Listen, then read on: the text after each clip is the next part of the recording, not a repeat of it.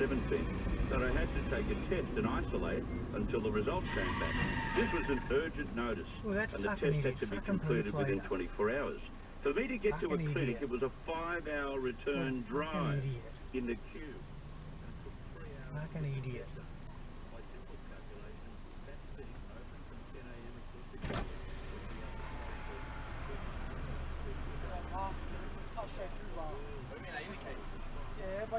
We're too close.